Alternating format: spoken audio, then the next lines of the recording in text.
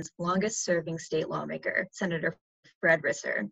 The contenders are former Alder Brian Benford, a current success coach for the UW Madison Odyssey program, William Davis III, a former member of the military and a 2018 write-in candidate for lieutenant governor, Nada Elmikashfi, who most recently worked at the Capitol after graduating from UW-Madison, Wisconsin Environmental Initiative head John Imes, a member of the Shorewood Hills Village Board, and former state assembly candidate, small retail business owner Amani Latimer Burris, recent UW-Madison graduate and former Democratic field organizer Aisha Moe, and former state lawmaker and gubernatorial and congressional candidate Kelda Roys, who owns a real estate company. Thank you all for being here. Democratic voters will choose between these seven candidates on or before August 11th. Because no Republican or third party candidate is in the race, the winner won't face a challenger during the November election and will all but certainly be seated come January. Some voters within the 26th Senate District will also have the opportunity to elect a new state lawmaker in the 76th Assembly District.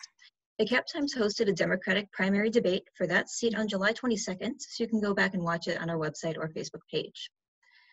For this event, our seven candidates will get two minutes each for their opening and closing statements, and in between, I will be asking them questions, some posed to all candidates and some individually. For most questions, candidates will have two minutes to answer. Each candidate will also have four opportunities to make one minute responses to a question directed at an opponent. Given that there are seven of you, we will be strict about keeping candidates to time so that we can get to all of the topics people want to hear about. If you go over in your response to a question, I will cut you off to move on to the next speaker. Now we'll begin with opening statements. Prior to the start of the debate, Chris did a drawing to determine the order. We will, we will begin with Ms. Elmikashfi. You have two minutes to provide opening remarks. Thank you, Briana. Hi, everyone. Thank you to Cap Times for hosting this debate and to everyone who has come tonight uh, to engage in our democracy. My name is Nada Elmikashfi, and I immigrated from Sudan to Madison when I was six years old. Growing up, I experienced how the lack of affordable housing, racial and economic inequity, and a crumbling healthcare system burdened my family and my neighbors here in Madison. I sit before you tonight as an unapologetic member of the working class who is fighting for progress in Madison, not for millionaires, corporations, or lobbyists. I have laid out a truly progressive platform. We've spoken out on the topic of Black Lives Matter and police brutality. We are bringing the boldest climate justice platform in Wisconsin history to the Capitol. We are committed to fair and clean elections, which means limiting wealthy donors and influence peddling, ending partisan gerrymandering, and ensuring the right to vote. The political status quo in Wisconsin is broken. We're still living in the shadow of Scott Walker with his henchmen, Robin Vos and Scott Fitzgerald, who do whatever it takes to cling to power. Having political experience alone has failed to meet this moment in history. Democrats in office must be responsive to our new reality and to fight even harder. But our politics have literally evolved into a life or death situation with over 150,000 Americans dead from COVID 19, many of some of whom were which uh, of my family. As a Democrat, I will stand up and fight like hell for what's right. Our campaign is a diverse coalition that includes the Planned Parenthood Advocates of Wisconsin, Voces de la Frontera, Democratic Socialists of America, and all three education labor groups that have endorsed in this race MTI, AFT Wisconsin, and TAA. More importantly, we have over a thousand individual working class contributions and have hundreds of volunteers building grassroots power. Together, we're going to give the progressive movement a home in the Wisconsin State Capitol. Capitol. I look forward to engaging with the debate tonight, and I hope all of you will join our movement. Thank you. Thank you so much. Mr. Benford, you're next. Thank you, Briana. and Thank you, Capital Times, for hosting this and everybody for tuning in. I hope you're all well. For the last 30 years, I worked in Madison's most vulnerable communities as a family advocate, educator, and activist, where I've served thousands of people in need. I've learned how to serve others in intense emotional situations and how to listen and take action on people's struggles. If we take a step away from politics and look at the human side, we can see that there are so many families in our city that have been hurt by the pandemic and its economic ramifications. I am the most prepared out of anybody in this race because I work with these families each and every day. There's moms and dads who don't know where their next paycheck is coming from. They don't know how they're going to put food on the table, and they're crying out for help. Unfortunately, politicians have failed us again and again because they don't have the compassion or experiences needed to lead, especially during these times. You know, I'm not some career politician. During this campaign, I'm still working long days and I'm fighting for those in need families that need access to health care, students that need access to quality education, small businesses that are on the brink of bankruptcy and need our help. So I'm fighting for my kids in our communities, which have been ignored for far too long by those in power. We are running a grassroots campaign and we don't have the tens of thousands of dollars that some of my opponents are working with, but we have something that they don't. And that's, we always had the principle of people over money. And that's been our motto from day one. So if you're looking for a candidate that can't be bought, if you're looking for a candidate that cares for you and your families, I'm your candidate. Just for the last 30 years that I fought for families all across Madison, I'll continue that fight as your next state senator. Thank you. Thank you. Ms. Moe, you're next. Thank you so much for having me.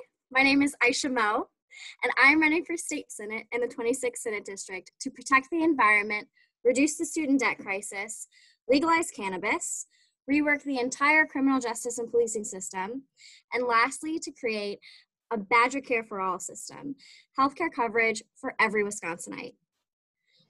I first got started in politics at age 17 at that time, Donald Trump was this crazy dude who was running for president. Um, um, but one evening in early May of 2016, my youngest brother, who was nine years old at the time, came home crying from school because someone had told him that if Donald Trump became elected, we would get deported because we were Muslim. Mm. And it was in that moment that I realized that even an even a candidate for elected office has the power to change the way that we view ourselves and how we view others in our community. I got to work. I got started in community organizing for the Democratic Party, both in the 2016 election and in the 2018 election, where we saw Tammy Baldwin win back her seat and uh, Tony Evers got elected. I'm running for state senate now in 2020 to push a progressive conversation into the legislature. As a young person and a young candidate, I stand for the values that are far left without fear and with only the vision for the future. Thank you so much. Thank you. Next up is Ms. Roys. Please go ahead and take two minutes for your opening remarks. Thank you so much, Briana. Thanks for the Capital Times for hosting and to all of you for watching. We are at an incredible tipping point moment in our state and in our country. We face huge, serious challenges. Uh, first and foremost, a global deadly pandemic that Wisconsin, unfortunately, is on the wrong end of, and uh, the economic crisis that's resulting from that, that is jeopardizing what little economic security um, many Americans already had. We also face a political crisis, which has failed to address either of these challenges and the underlying disparities that both the economic crisis and COVID are making far worse, like racial, racial disparities and economic disparities. I've spent my life working to create opportunities for other people. I know that I was very lucky to be raised in Madison and to have um, the privileges that I had. And it's always been my firm conviction that every single child deserves the kind of opportunities that my sisters and I had growing up here and more. That's the core of my political philosophy. And it's what drove me after law school to not take a big corporate job, but instead go fight on the front lines for reproductive rights as the head of NARAL Pro Choice Wisconsin. There, I worked not only to defend the right to choose, but also to prioritize the terrible racial disparities in infant mortality that were plaguing our state. Then I ran for the state assembly, and I served two terms. And in our first term, we were in the majority, and I was frustrated that we didn't get as much done as we had wanted, but still we were able to make progress even with a narrow, razor thin uh, majority. We were able to expand Badger Care to over 30,000 people. And then we went into the minority, and unfortunately, we were fighting on the front lines against Scott Walker's attack on unions. Now, for the last six, seven years, I've been out of politics. For the most part, I've been running my small business and raising my family. But my convictions and my progressive values remain true. I'm the candidate that has the experience of turning those progressive values and passions into real state policy, and that's what we need right now. Thank you so much. Mr. Davis, we're going to you next. You have two minutes. Hi, my name is William Henry Davis III. Um, I am running for Senate District 26. I ran for Lieutenant Governor 2018. Um, one of the things that I want to say is I've always been in, involved with politics since I was in seventh grade. I've always loved politics with my heart. And um, one of the things that I realized that oftentimes get ignored within both parties is politicians that get elected and they do not acknowledge our poor, our low income, and our low wage citizens, also our homeless, our disabled. That's what William Henry Davis III is going to fight for and propose in legislation. I'm going to fight for animal rights, uh, small businesses. Um, I'm going to also help pass and propose legislation that will legalize marijuana uh, expand Medicaid, Badger Care Plus, help with housing so that we can give housing to our hundreds of thousands of citizens without homes or apartments. I want to help fight for our safety of our children, our schools and education. That's the top priority. We need to make sure that our children that come from impoverished communities are represented and that they have a politician that is going to give benefits for them and their families. I want to fight for the minimum wage. I am against corporations, big corporations. Uh, I want minimum wage to be increased for the state of Wisconsin, $15 for small business owners. And I want them to pay fair wages to the citizens. For corporations, I want $20 an hour for our citizens to receive for employment. Wisconsin cannot afford a politician that's going to get in office and choke up against the Republican Party. We need a Democrat that's going to fight for our citizens, and that is William Thank- Henry Davis III. Thank you. Thank you, Mr. Davis. Appreciate your remarks. Uh, Mr. Imes, we've been having some technical issues with you. Let's check in with you first. Can we hear you? Nope, still can't hear you. You said you had a, a phone in. Um, are you able to use that line? How about now? I can hear you now. Oh, there we go. right, go ahead. Yeah, Yeah, I mean, it worked, worked great six hours ago. So, well, first, let me thank the Cap Times, uh, Chris and Briana for holding this candidate forum. Of course, for your good work on developing the people's agenda. You know, as I walked around the neighborhood near Madison Kipp Corporation on the east side last week, reminded me a lot of my working class roots. My dad was a window cleaner who did not finish high school, and our upper flat was 100 yards from the factory with loud aircraft uh, overhead landing at the airport. Today, I'm an elected official, environmental nonprofit leader, small business owner, and married dad of four children. Rooted in the 26th Senate District for 26 years. I bring a uniquely diverse experience to governing and work with stakeholders on issues that allow me to engage more effectively and build the coalitions we need to win back a Democratic majority. As your state senator, I'll work to implement the bold, high road progressive policies and will stand up for local businesses, workers, and families by putting people first. I believe we can come out of this crisis healthier, stronger, and more resilient as a community, but only if we implement an economic recovery plan that works for all and prioritizes workers and public health, affordable health care, paid sick, family, and medical leave, and direct economic relief. I'll also work to implement a broad Wisconsin-based Green New Deal that includes innovative policies to be a leader in clean energy, climate action, and sustainable communities. A plan that provides well-paying jobs and helps restore Wisconsin's leadership tradition. That environmental leadership background is sorely missed, and a main reason why I was endorsed by Therese Berceau, who represented the district in the legislature for 20 years. Why I earned the support of Tia Nelson, the daughter of former governor, US Senator and Earth Day founder Gaylord Nelson, who said I was the only candidate with the credentials to build back our economy and take climate action.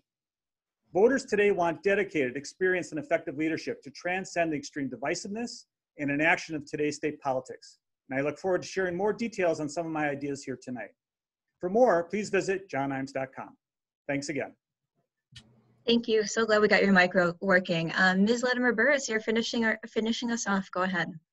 Okay, so I am Amani, Amani Latimer Burris, and I am running for you.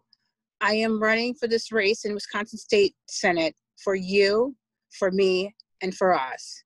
Because I have found that we need freedom. I need freedom. You need freedom. And we all need the freedom to breathe again. This election is not about me. It's about reaching out, it's about connecting, and it's about building community coalitions. This election is not about fight, fight, fight. It's about advocating for your rights and for my rights. Mayor Soglin saw that in me when he endorsed me. As a community organizer in the field of Waukesha and Milwaukee, I got that our voting rights are at stake, and I will work to fix that. As a former teacher and a lifelong educator, educator, excuse me, I know that the answers, the solutions, come from listening and acknowledgement and understanding and empathy. And I understand that we need progressive policies that have real impact on the people that are living everyday lives in this COVID 19 dilemma and that are worried about putting food on the table, having a place to live, and a place to be, and having their kids go to school and be educated, and all the other things that we have as responsibility as parents. And as a mama with two teenagers, I understand that their environment is at stake. I understand that their environment is at stake. I understand that their environment is at stake and we have to do something for the future. So, as a wife who is married to a public defender and a sister, as a sister to a brother who has been in and out of the system for 40 years and, unnes- and at times unnecessarily, I get that the criminal justice system needs reform. Sorry to cut you off, but that's been two minutes. Um, we'll be sure to get back to the, some of those thoughts in, in our later questions. Um, thank you all for Thank you all for that. Um, like I mentioned, we're going to move on to some individual questions. And at this point, candidates will have two minutes to answer. And after that, any contender can jump in with a response of up to one minute. Many of these questions are inspired by the responses we've gotten so far to our People's Agenda. That effort aims to help guide the stories we cover during this election cycle and beyond based on reader and community input. Um, we'll start with some issues surrounding the COVID-19 crisis. And Mr. Benford, this first question is for you. You've talked about the importance of prioritizing scientific recommendations to combat COVID-19 while safeguarding individuals through the remainder of the pandemic. One of the things you've pledged to do if elected is push the state to send out monthly cash payments to individuals. How do you envision that working? How much money, are we talking per individual or household? And how does the state pay for that when we're facing a budget shortfall? That's a really wonderful question, Briana, and I really appreciate it. The best way that I can answer that is that when you look at two insidious diseases ravaging our world, COVID 19 and for much longer systemic racism, in my opening statement, I talked about families that are really struggling, really suffering, that they've lost their jobs, that small businesses have been devastated. That what I tell people in my uh, capacity as a family advocate over the last 30 years is that I see a meteor headed for the city of Madison, for the state of Wisconsin, for our nation. When people are placed out of their housing, when they don't have access to health care, when they're struggling to find food, diapers, and medicine, that this city we all love so much that wins national accolades could run the risk of becoming a tent city for the most marginalized and vulnerable people. So I feel like we have no other alternative. Now, how would I get the money? All of the questions that you're going to ask tonight, I'm not living in a bubble. I'm not naive. I know there's a majority party that's demonstrated a total disregard for our lives, for our democracy, and that uh, we are going to run against obstacles that are common sense. They've already ignored the best science that's out there. But as your next state senator, I would advocate to heighten the level of awareness of why this is important and I would do everything in my power to bridge co- coalitions to come together to find the economic support that people will need.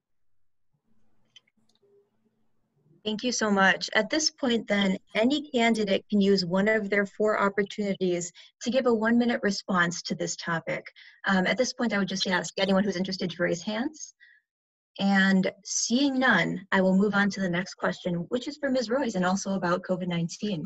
Um, you and the other candidates have noted that the state will be dealing with the fallout from COVID-19 for the foreseeable future. How would you evaluate lawmakers and their administration's response to the crisis thus far? And do you believe Governor Tony Evers should be more aggressive in putting in place a statewide mask mandate, for example, even though it would likely draw a legal challenge? Well, I think this is a really important question because it gets to the heart of what is broken with our government and why I'm running.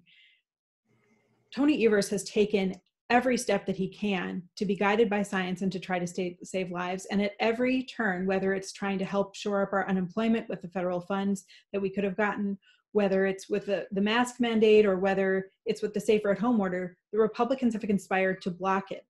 They worked with the Supreme Court that is uh, completely bought and paid for by right wing interests to force the state to reopen. And now Wisconsin is among the worst states in terms of COVID cases going through the roof. So, um, you know, I appreciate what Governor Evers has done and the position that he's in, but frankly, Robin Vos has made it very difficult. That said, I still think it's absolutely worth doing. This is a life or death situation. It's infuriating that we have bars open and airlines getting bailouts, but yet schools are not going to be open and uh, families are going to be evicted from their homes and uh, you know working parents are having to quit or dial back their work to take care of kids. Um, all of this is preventable. And even with the federal government that's completely dysfunctional and has failed to do this there is a lot of room for what wisconsin can do. The first and most important thing that we could do is take the medicaid expansion. Not only would that create 10000 new healthcare jobs but it would help cover tens of thousands of Wisconsinites at a time when it's critically important. I can't really see how we're going to be able to balance the next, state budget without accepting that Medicaid expansion. We can institute paid family and sick leave. This is essential for not just the frontline essential workers that are doing healthcare and service jobs. And I'm really proud to have the endorsement of SEIU and the Healthcare Heroes, as well as uh, 20, nearly two dozen other labor unions. But uh, implementing those things alone would help us get the virus under control. We also, of course, have to deal with the economic fallout for small businesses. And that's where I think um, we could use a real targeted effort with working with the Republicans on that. Thank you so much. Um, at this point, does any candidate want to jump in on this topic? Seeing no hands, we will move on to the next question, which is for Ms. Latimer Burris. Um, when speaking to me in the past, you've highlighted four key areas, healthcare, education, housing, and social justice, all of which you've said are affected by what you're calling economic dignity. Why is it useful to look at issues through that interconnected lens, and how do you think that viewpoint could aid lawmakers in crafting policy solutions at the state level? Okay, thank you so much. And I realized last time I just want to announce that that I was looking for like the timer, but I don't think I had the view right to see the timer. So yeah, um, it, you know, it's all interconnected. And I got that in 2008. Um, I used to own $4.2 million in property and I lost it all uh, uh, and ended up living in Super 8. And um, so as I crashed down through the middle class and, and into um, the working class and then um, beyond that, I got that at the base of everything is economics. And so if you don't have economic freedom, uh, economic security, economic dignity, which all goes, uh, you know, together, then you cannot eh, do a lot of these things. So when I started to chart my way out of that and how to keep my kids on on a roll while we're homeless, I it always came back to economics and connecting. And then as a black woman, as a mom, as a woman, it gets layered. So I think that we can create policies to protect homeowners and for to protect renters and to have a say in the matter because what happens is we have all the responsibilities, but we do not have any of the protections. Thank you so much. Um, would anyone like to jump in on that topic? Seeing no hands, I will move on to the next question, which is for Mr. Davis. Um, Mr. Davis, in past interviews and um, also at the top of, of, of, this event, you've stressed the importance of addressing economic hardships that individuals are facing, stemming from rent increases and low salaries. You said in your opening remarks that the state should implement a $15 minimum wage. Would you want that increased immediately or in a staggered way? And what other policies should lawmakers be looking at to, to address these issues? Thank you for uh, picking me uh, for this. We need to increase it right away. Minimum wage is, I mean, look at the unemployment. Um, it's it's horrible right now in Wisconsin. The citizens are doing really bad. They're struggling uh, bad. You should see the, the the urban communities, which I call the hoods in my slang. It's hoods out, a lot of hoods, and it's a lot of people doing really bad. They need as much assistance as they can get. Uh, they need uh, legislation that will be aggressively addressed to the legislature so we can uh, target these issues right away. And uh, yes, there's going to be some resistance from the Republican Party, but we have to be strong and we have to fight. And that's what I'm going to do if I'm elected as a state senator. One of the things that we can do right now is uh, make sure that we try to propose uh, food economic assistance for our citizens right now, increase some of the benefits for those that don't have uh, access to uh, food, food share, EBT. Uh, that's a lot of citizens that are doing really bad. I, I can't say it enough. Uh, one of the things that we can do is just keep proposing legislation, and the more we do that, the more we can make things happen. And that's what William Henry Davis III is going to do. Thank you so much. I believe I saw Mr. Benford's hand. Yes, would you like to take one minute to respond or address that topic? Absolutely, and I really appreciate what Mr. Davis had said. When I was on the city council here in Madison, we raised the minimum wage here locally only to have it steamrolled by uh, the state. And uh, we recognize that here in Madison, that even $15 an hour isn't enough to, uh, for most housing here. So that's desperately needed, and I really appreciate Mr. Uh, Davis's comments. Um, we really do need to uh, take a look at that and create sustainable jobs that pay more than a living wage, especially here in the island of, uh, of Madison. Thank you. Thank you. I believe I saw Ms. Roys' hand next, so we'll go with you. Thank you so much. Thank you. Brian is absolutely right. Not only do we need to raise the minimum wage, we need to allow local municipalities to make their own determinations about what constitutes a living wage in their community. But part of the big structural problems with our economy is that um, often workers who are earning the lowest wages also have the least security. They don't have benefits. And that's one reason that one of the big challenges we're going to face is how to make sure that every worker has health care I've long supported a Badger Care for All system that would cover everyone with affordable quality health insurance. We also need to allow people to buy into a safe public pension system, whether you're an entrepreneur, a small business owner, or a worker. You can just take that public pension with you from job to job. And we need to guarantee paid family and medical leave for every single worker, regardless of where um, they're employed. Not only will this help people at the low in- income earner um, level, but it will also help entrepreneurs and small business owners compete for and retain great employees. So it's a win win for our economy. Thank you so much. Uh, would anyone else like to speak to this topic? Ms. Latimer Burris, please go ahead. Yeah, so again, um, after spending 15,000 hours in the Wisconsin state statute uh, uh, defending, uh, you know, homeowners and renters and whatnot, uh, I think people have to really click in um, that we are on a very basic level. What I found is it took us about a year and a half to to to fall out, um, and other people it's going to go much quicker. And so we have to um, not only make, create laws, but we have to also educate people about what is available. One of the things that I was struggling with at the time was uh, health insurance, and I thought I couldn't afford Obamacare. So it's something that we uh, need to explain to people that you're not going to put out the $1,700 a month, you get insured, and how the whole system works. I think that's the issue with the political system in itself and these policies is they're in place but nobody explains it to everyday people of how they can make a difference and i think i can be the person to do that Thank you. Um, seeing no other hands, at this point, we're going to go back to Mr. Davis, who has 30 seconds if he wants to add anything else to this topic or address the issue further. Uh, once again, there's no one that understands poverty and the urban issues other than William Henry Davis III out of all seven candidates. Um, this is something that's undebatable, non-debatable. Uh, we, we, need to elect a senator that's going to care and actually do something and propose and create and have ideals, strategic ideals that will help give benefits for our citizens. Uh, I have a lot of proposed legislation if I get elected, and we're just going to keep the ball rolling once I get in, if I get in. That's it. Thank you so much. Um, we'll, we'll move on to the next question now, which is also a different topic, and it is for Ms. Moe.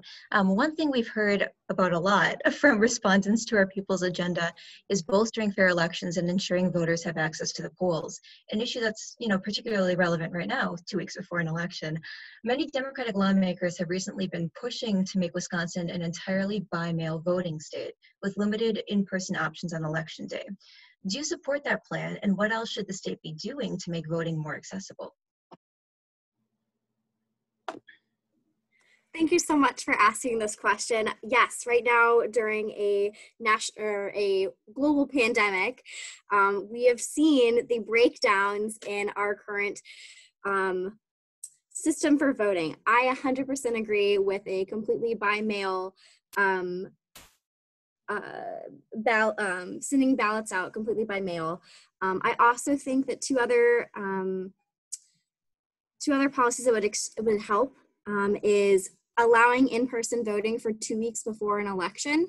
There's no reason that I mean, there's no reason that when we're not in the middle of a global pandemic, you can't have in-person voting two weeks ahead of time because uh, an all day voting on Tuesday when people are working is completely insane. We should definitely have in person voting two weeks before an election. Um, secondly, I think that we should have automatic voter registration.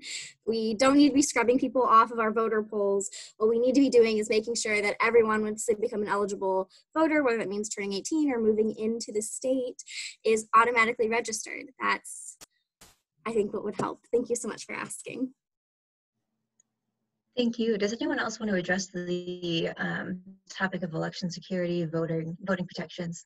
Um, Ms. Latimer Burris, I see your hand. Please go ahead.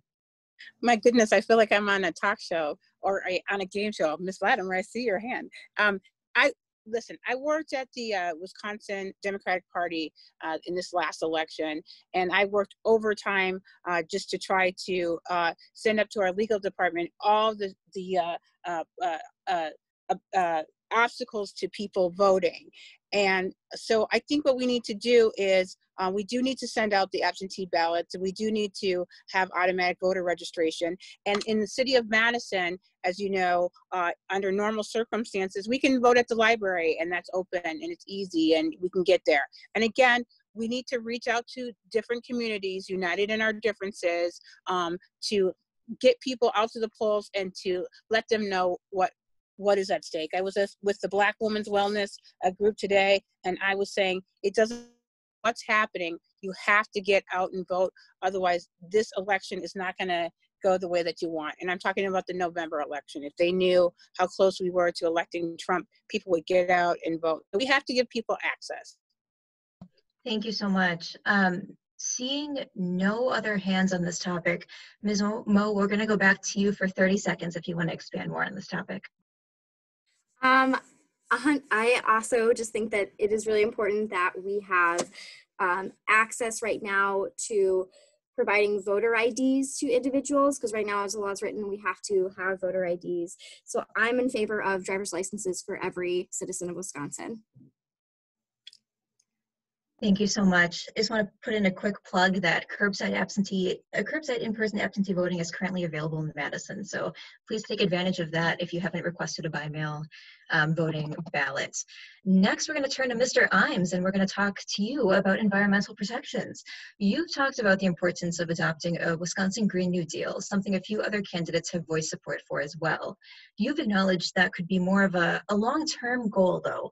What are the key tenets of a Wisconsin Green New Deal plan in your, in your viewpoints? And what are some shorter term steps the state could consider taking in the interim to combat climate change and pr promote renewable energy?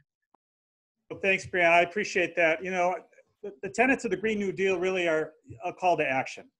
And when you think about um, 100% clean energy, you know, the Center on Wisconsin Strategy is already out with the report last year that talked about how Wisconsin would create 162,000 uh, clean energy jobs as a result of going 100% clean energy. Uh, and some of those are manufacturing jobs. Uh, there's opportunities to up, update our grid.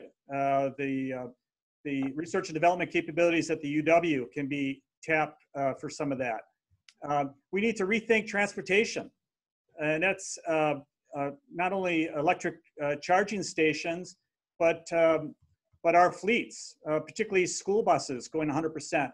You know, we're exposing our kids to diesel emissions associated with uh, you know diesel buses. So that should be a priority to reduce health impacts from air pollutants as we work towards a goal of, of zero emissions. Um, sustainable economic development is really key. Uh, green building and green retrofits are really key. You know, I was involved with the Garver feed mill. I was on the team that proposed that on the east side. It's located behind Olbrich Gardens. You know, that was $2 million for the city to landfill that building and clean up the soils. And instead, uh, we went in there and spent about $20 million and really made it uh, a showcase. And I think the state can leverage its permitting process, its building codes to accelerate high performance building. Uh, I talked about uh, sustainable uh, uh, economic incentives. You could have tax credits, you could have loan guarantees, you could have preference on purchasing contracts to local firms that achieve uh, superior environmental results and institute high road practices that protect workers. And then regenerative agriculture. You know, Wisconsin could really lead the world in regenerative agriculture practices to increase farmers' profit, uh, profits, rebuild our soils, clean our waterways, and expand renewable energy. And I think we could also empower more food entrepreneurship, you know, particularly for women, immigrants, and people of color to help reduce social. Thank you so much, Mr. I'm sorry to cut you off, but that's time. Um, Ms. Elmikashfi, I see your hand. Would you like to take a minute to add on to that? Yeah, thank you for that, um, Briana and John Imes. I think addressing the climate crisis will take the largest investment and mobilization from our government that Wisconsin has ever seen. Um, on on day one in office, I'm prepared to echo activists in demanding a de- uh, in demanding a declaration of a climate emergency in Wisconsin. I think that's step number one, uh, and making sure that Wisconsin goes carbon free by 2030 because we cannot afford otherwise. Um, I think most importantly, the climate crisis is an environmental racism crisis. In Madison, we're seeing environmental injustice in real time with the F-35s. Uh, we must mm. push back against F-35s and demand climate justice by making targeted investments into marginalized communities across Wisconsin. Uh, you know, I was dismayed uh, when I first learned about the decision to ignore overwhelming community opposition and to place F-35 jets at Truax Field earlier this year. And I think it's a blatant example of the militarization of our communities. And along with the Green New Deal, we need to really advocate and be vocal about rejecting the F-35s in Madison. Thank you.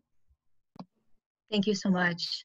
Um, seeing no other hands on the topic of environmental protection slash Green New Deal, we're going to go back to you, Mr. Imes. Feel free to take 30 seconds to wrap up this topic for us. Yeah, Briana, I'll just say, uh, you know, if the F-35s come, what I've said is we should have a clean energy jobs district there and use green infrastructure and uh, use deep energy uh, retrofits, provide jobs, provide um, uh, for ju justice compromised individuals, transitionary jobs, uh, apprenticeships. There's, there's an opportunity there for us to do green infrastructure and do some other things, which I think are going to be important uh, for addressing uh, th those impacts from aircraft operations. Thank you so much, everyone. Um, Ms. Elmikashfi, we're going back to you now for the final question of this section. Over the course of your campaign, you haven't been shy about criticizing the Democratic establishment and infrastructure in Wisconsin, and that's just, you know, not something we typically hear from candidates about their own party, particularly first-time candidates. Do you think legislative Democrats and the party are doing enough currently to fight for all Wisconsinites? And if not, what more should they be doing? Um, for me, I declared against Senator Risser in January because uh, I went around my communities and I asked them when was the last time a Democratic lawmaker came and asked you what you needed, uh, what problems needed to be fixed, and they couldn't remember. In my 19 years here, I couldn't remember. Uh, there was a large gap in leadership that I saw affected the people of color uh, in Wisconsin.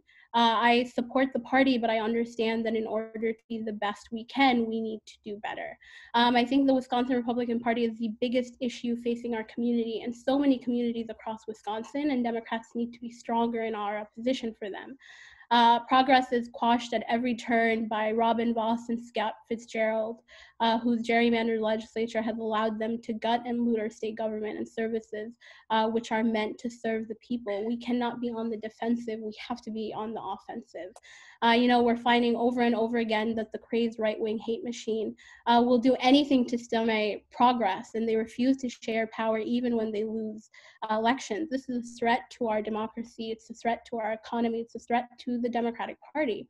Uh, you know, it's harmed our children and our teachers, and it's displaced low wage workers and resulted in far too many evictions and an affordable housing crisis. Um, it's led to Wisconsinites quite literally dying because they take because they, they refuse to take federal money for expanded expanding healthcare. And I think that there is a tendency to negotiate and hide hide a lack of initiative within the Democratic Party behind Republican obstructionism.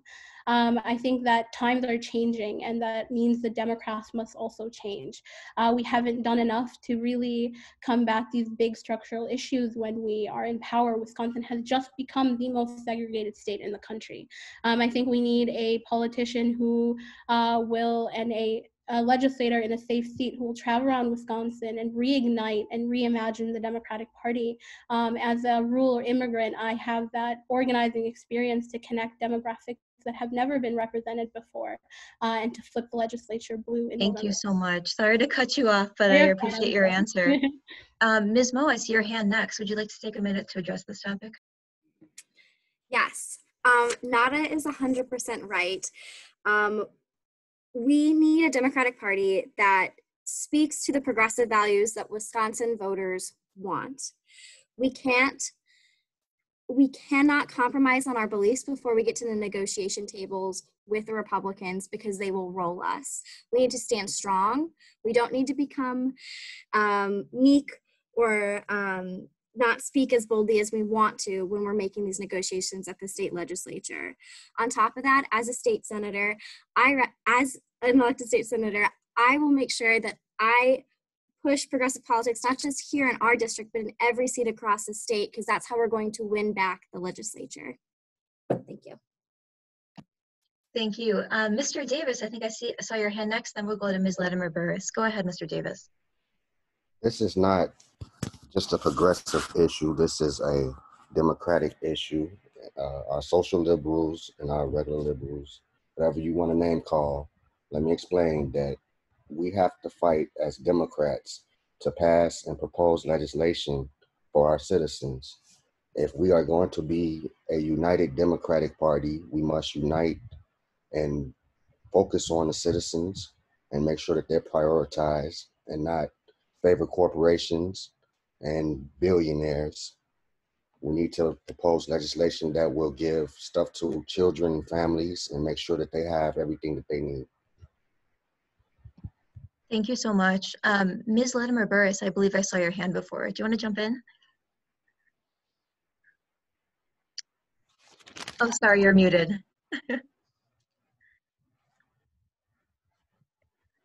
uh, Ms. Burris, just make sure you unmute first. Yep, thank you. Hold on, just 30 seconds, sorry. I went Hold no on. problem. Okay, Go now ahead. I think I'm good. Okay, so Nada and I went about this this morning at the Black Women's Wellness. Like, look, um, you know, our country wants a revolution and they also want restoration. That's why we got Joe Biden, and then COVID 19 unfortunately gave us a revolution.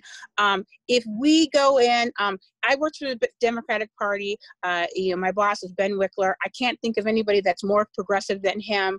Um, but there's something about if you go in there and you fight, fight, fight, fight, fight, fight, fight, and then you're going to ask to go negotiate, it's just going to cause a separation. I think that's what we got with Trump. Is a fight, it's a fight, it's a fight. What I think that we need to do is we need to stand united in our differences on moral ground about the right thing to do.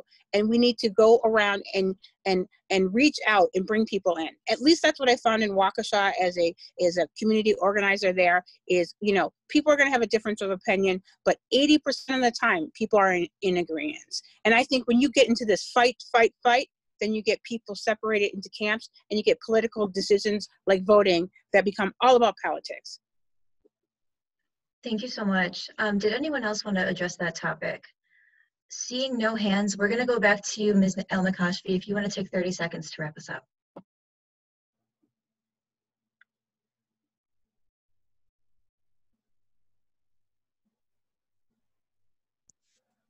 Can you hear me?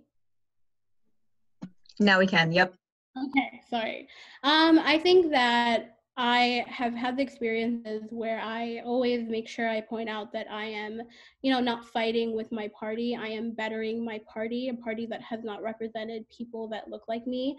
I've taken flack at times for speaking truth to power, uh, for defending myself as a Black candidate against, you know, uh, Senator Carpenter. But the conversations that we had with Ben Wickler and Senator Bewley has really shown us that there are incredible you know things that we can do to better ourselves and steps to move forward. So from a negative experience and harassment that i've received we've bettered ourselves. So that's my response.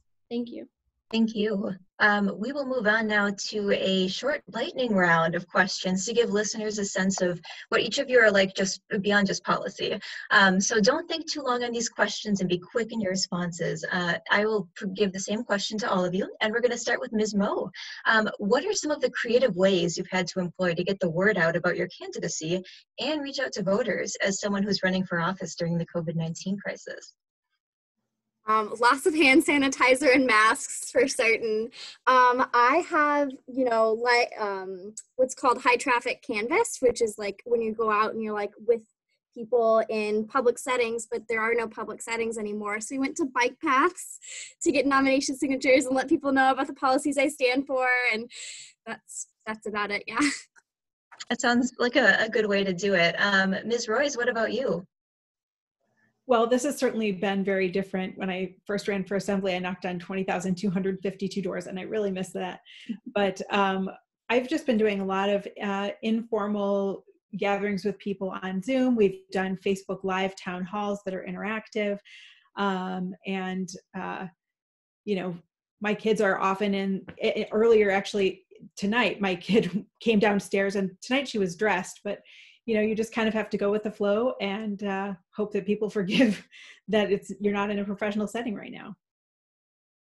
Yeah that sounds about right. Um, mr davis what about you? How have you been reaching out to to voters during this time? Social media is the is the main way uh, to do it right now. Uh, facebook uh, always studying and posting current events that are going on and, and let the citizens know that things are, you know, are a problem for the citizens that need to be addressed. Uh, and we need to have, you know, politicians get more involved and reform a lot of legislation so that we can get laws passed to help Wisconsin. I've seen a lot of uh, a lot of activity on social media. Uh, Mr. Imes, what about you? Yeah, you know, uh, it's it's a challenge. You know, I've done the uh, the West Side Farmers Market uh, eight weeks in a row, and uh, set up a table there, set up the signs. That's probably the smartest thing I did because uh, there's probably a thousand, fifteen hundred people every Saturday that go through there. I'm on a first name basis with a bunch of folks. I really haven't seen any other candidates, though Amani did join me uh, at least one of the days. So the farmers markets were actually a pretty good play. And then the secret for everyone watching will be if it's raining on a Saturday and you're still collecting signatures, go to Trader Joe's. They're lined, up, they're lined up in the parking area. There's people from the east side, the south side, the west side, the north side. The, and I, we got tons of signatures hanging out at Trader Joe's. So that's out there now for the world. You've got some pro tips in there. Thanks, thanks for those. Um, Ms. Latimer Burris, what about you? I think you have a, a bus, right? yeah, I have. A, well, it's like an RV that's pre- uh, painted red, white, and blue. And um, Brian is going to come out with me. That's what he said. Um, and I did um, I did see John out, and it's it's been a lot of fun. It's socially distanced.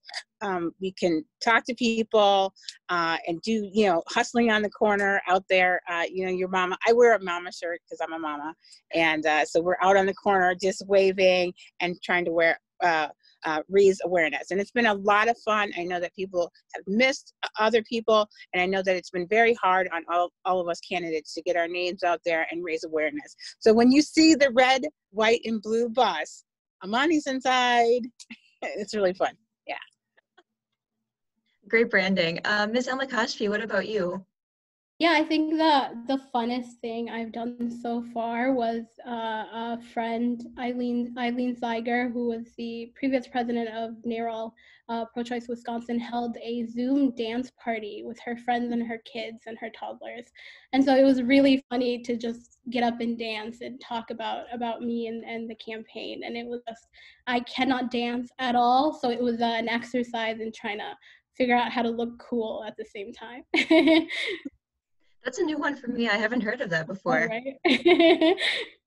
Uh, Mr. Benford, you're finishing us off. Well, how have you been reaching out to voters? It's a great question. And I, I just want to say really quick that Amani, your bus is bigger than my flat. So I definitely want to cruise. I definitely want to cruise around with you. Um, to answer your question, uh, people power. We jumped in this race really, really late. And I was just overwhelmed with the amazing neighbors and friends and people in the community that have known my work. And they jumped out in 11 days and they got more than enough signatures. So that's this whole campaign is about people. And uh, it's been really fun to connect, even though I miss hugs and and I'm not gonna lie, I don't miss pounding doors till I get arthritis or anything, but I do miss that interpersonal connections with people. These are all some, some great solutions you've come up with. Um, Ms. Roys, we're starting with you for the next one. Is there a particular local bar or restaurant you have most missed going to in person over the last few weeks or months? Oh man, um, a lot of them. Although you know, frankly, the places that I have been going lately are kid friendly.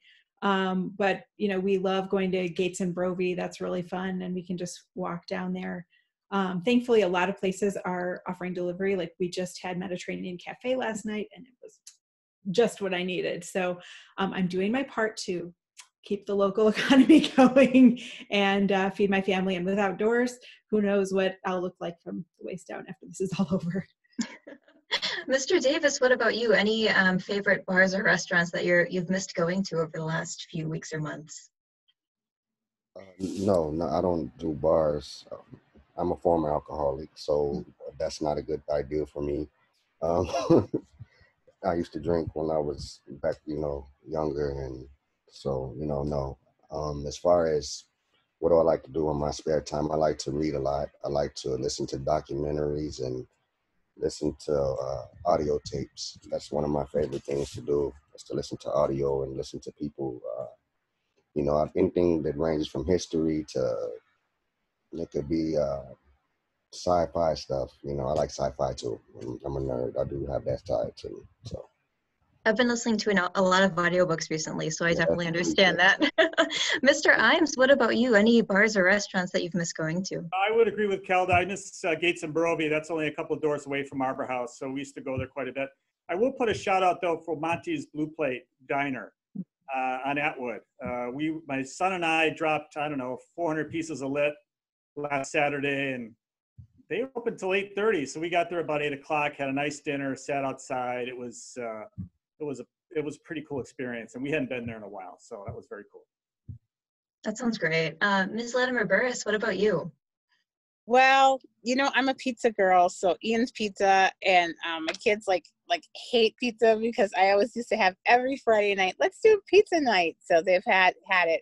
Um, yeah, so uh, you know, I will run down there and get get a slice of pizza. Um, I love the macaroni and cheese pizza. Can you tell that I'm Wisconsin? I'm a Wisconsin girl. So, yeah.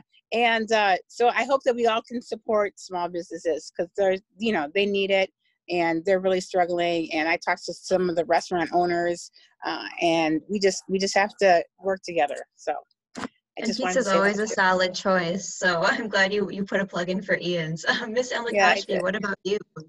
I really miss Mirch Masala, Briana, mm-hmm. so much.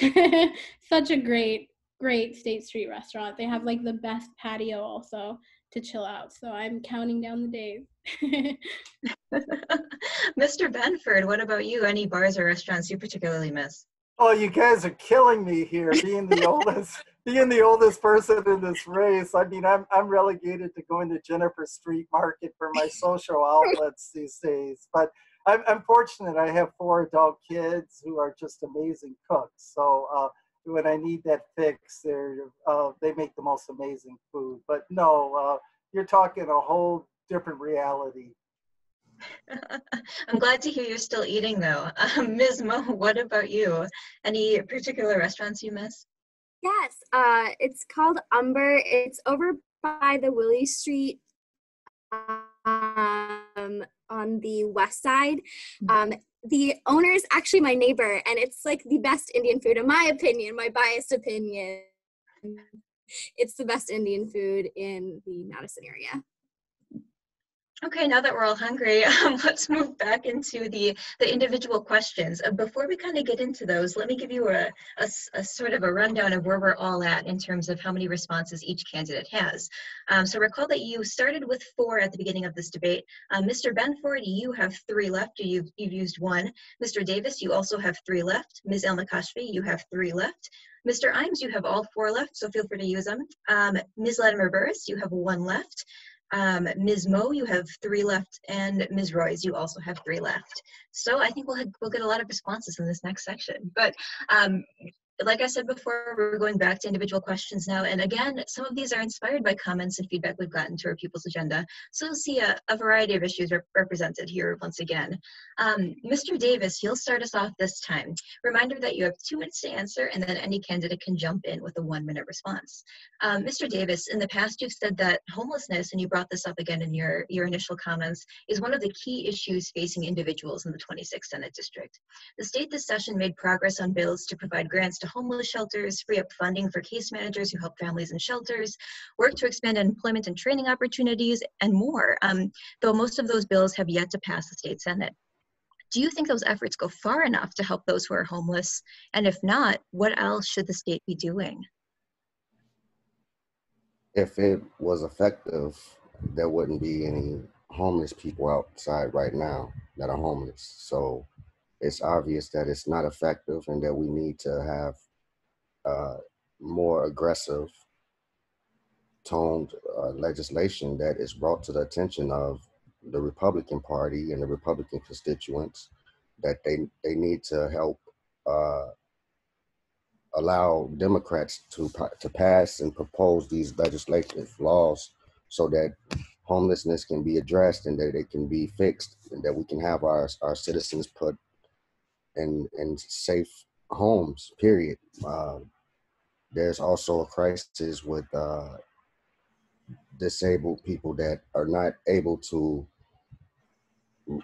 be acknowledged as being disabled, that are not able to get benefits such as Social Security, and they are struggling and they need housing, they need food, they need uh, they need medical. I mean, it's it's just obvious that this stuff needs to be tackled. It, it, it's it's horrible right now. It's very horrible, and homelessness affects every ethnic group. It's not just blacks. There are poor whites, poor Arabs, uh, poor Latinos. I've seen poor Asians.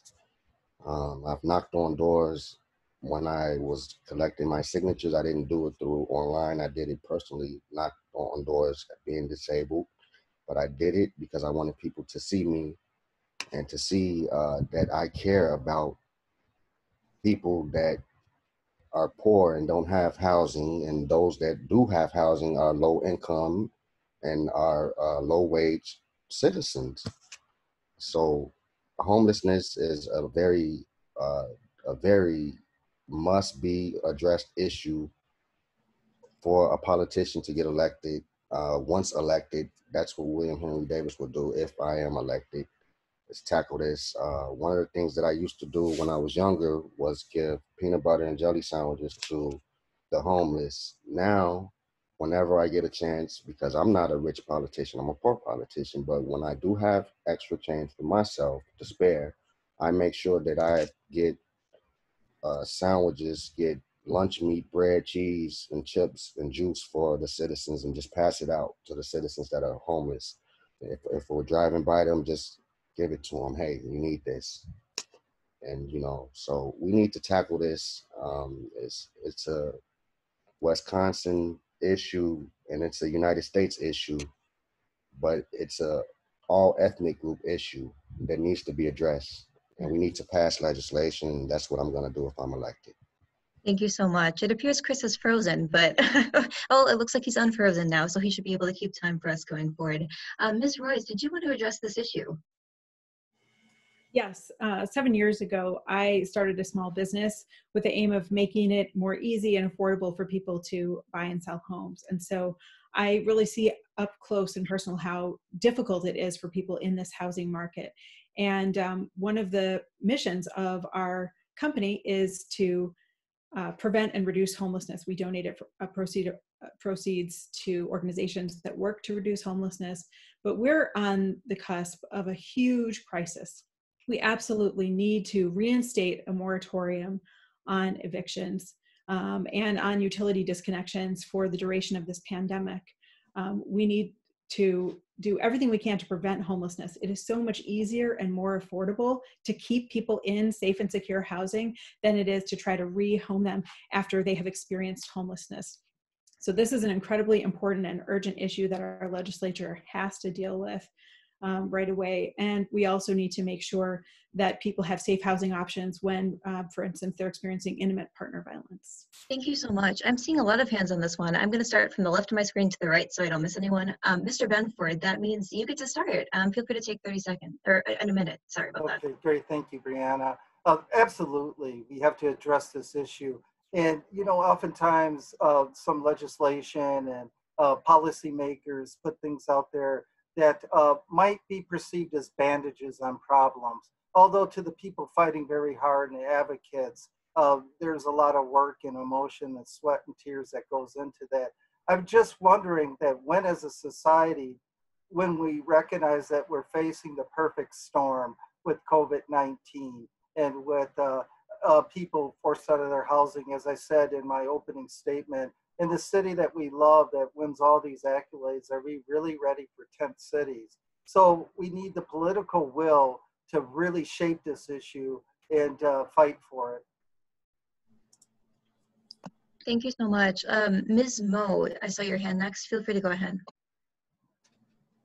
Thank you. This is a very important issue in regards to people facing um, housing insecurity. We should be taking a housing first approach because once housing is in place, everything else that a family or individual could be facing gets managed afterwards when housing is in place first. That's why I support um, affordable housing, but as well as um, guaranteed sustainable housing.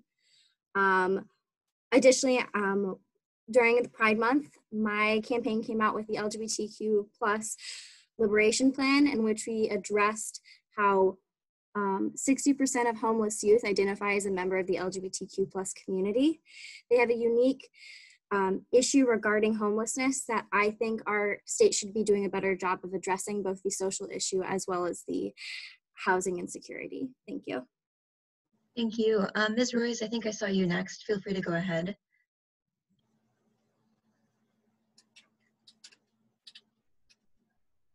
Nope. Okay, we're going to go to Ms. Elmikashfi instead. Go ahead. Thank you. Um, I think we have a rent crisis, and more rental protections is key to preventing homelessness. Uh, Wisconsin, again, is the most segregated state in the country, and not only are we dealing with a legacy of redlining, uh, but we're still experiencing it today. In 2015, Associated Bank reached a $200 million settlement for discriminatory lending practices in Wisconsin. Um, and that's the biggest redlining settlement in our nation's history that happened in our own backyard, and it is completely unacceptable. So all of these policies are just a start. Really, the working class needs a seat at the table so that we can fight for housing for all and housing first policies that prioritize housing security. Uh, you know, what we don't need is more decisions being made by representatives who are all homeowners, landlords, uh, or people with vested interest in the real estate business. And, you know, Robin Vos is a landlord. Uh, we need le- leadership that rents, that truly understands the struggle of, of working class Madison. Uh, you know, I've said it once and I'll, I'll say it again. Uh, a, a, really radical idea is that we should start putting forward candidates with the lived experiences of the policies we are addressing. Thank you. Thank you so much. Um, seeing no other hands, we're going to go back to you, Mr. Davis. You have 30 seconds to wrap up this topic for us. There is no question about it. I am the candidate that can address this because I have lived among the poor and uh, citizens that face hardships and, and those that are low wage earners. Uh, there's no other candidate that will be able to connect with the citizens other than William Henry Davis III. I'm going to fight for our citizens. I'm going to propose legislation that will give those that are felons that are on the streets, those that don't have any leadway, any guidance. I'm going to fight for those citizens, and that's what I'm going to do as a politician. Thank you, Mr. Davis. Sorry to cut you off there, but we're at time. Um, Ms. Elmikashfi, we're going to you next for the next question about healthcare. You're among the many candidates in this race who have talked about the importance of expanding healthcare. One way Governor Tony Evers has sought to do that is by trying to push the state to accept federal Medicaid, Medicaid expansion dollars, a proposal that was rejected by legislative Republicans during the budget debate last cycle. It's unlikely Republicans, or it, it is likely Republicans will retain control of the legislature this cycle, but unlikely that they'll drop their, their opposition to this plan. Given that reality, is expanding Medicaid still worth fighting for? And if so, how would you seek to work across the aisle to do that?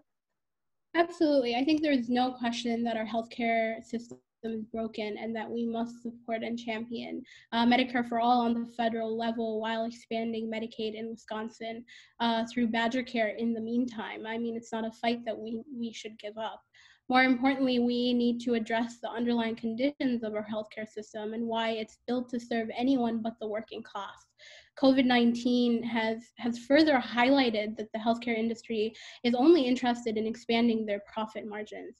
I've seen this myself. My mother struggled with, you know, some chronic health conditions and I became the primary caregiver for my family a couple years ago. I've seen the way that the system fails individual people and puts up barrier after barrier for the working class. Uh, now more than ever, the progressive movement must come together to fight for universal health care. Uh, Governor Evers is doing everything he can, but Robin the GOP uh, would rather hold on to power than help Wisconsinites.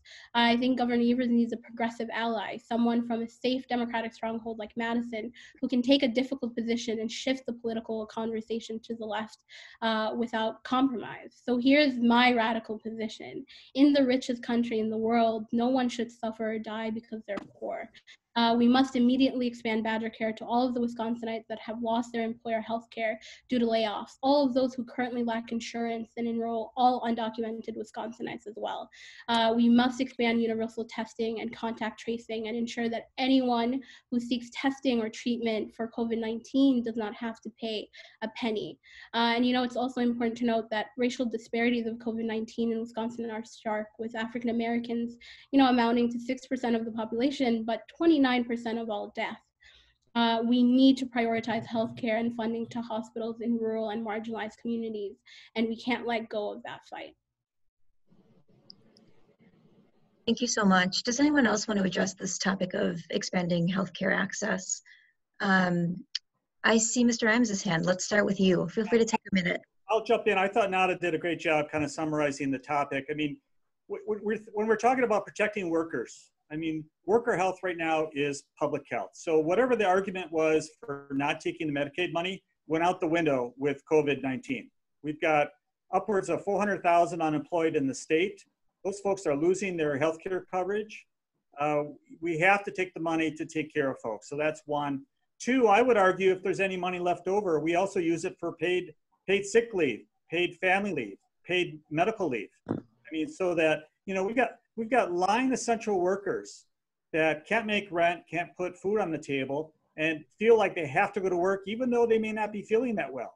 We need these folks to stay home and take care of themselves. We need folks to stay home and take care of their loved ones uh, who may be who may be ill or not feeling well. So the world changed, and for for someone to make the argument that we just can't take the money that we're we're still one of I think 13 states that will not take the Medicaid money as allowed by the Affordable Care Act, that has to change. Thank you. Um, I saw a couple more hands. Who wants to go next? Um, Ms. Moe, let's start with you. In regards to expanding Medicaid at the state level, um, whoever, as state senator, I expect that the conversations with Republicans that reach across the aisle to get this important uh, policy done will require a conversation. And you have to keep engaging in that conversation again and again. You cannot give up. You cannot secede any amount of it because it is so important and it is life and death for Wisconsinites. So, as state senator, I will be introducing um, ex- expanding Medicaid and ultimately with the goal of having Medicare for all at the federal level, but recognizing that until then we need to have a healthcare system that covers every Wisconsinite. We need to be accepting it, and every second we aren't, we need to be pushing that conversation every single second. Thank you. Thank you. Does anyone else want to speak to this issue? Um, seeing no hands, I will I will return to Mr. Uh, or Ms. Elmikashfi. Sorry, that question was for you. Would you like to take 30 seconds to wrap up this topic for us? Yeah, I think what I'd like to end with is that these policy proposals are great, but if we do not flip the legislature, we will not be able to get our progressive ideals through uh, and, and save the lives of Wisconsinites. And so I think it's time to reimagine what our moves are as, as Democrats. What we've tried in the past isn't working. Um, and that's why I think I have the unique experience of door knocking and organizing across the state of Wisconsin to be able to unite communities, rural immigrants, um, rural communities of, of color as well, who have not been represented, who have not been introduced and included in the democratic process in districts that are made up of 40 Thank votes. you so much. Sorry to cut you off. Um, we're, we're going to Ms. Moe next, and we're going to talk about, the next two questions will be about policing and um, corrections changes. Uh, Governor Tony Evers and Lieutenant Governor Mandela Barnes last month proposed bills that would ban the use of chokeholds by police, only allow deadly force as a last resort, bar no-knock searches, and more. Um, you've talked about the importance of, you know, making changes to policing in Wisconsin. Do you think these proposals meet the moment and go far enough?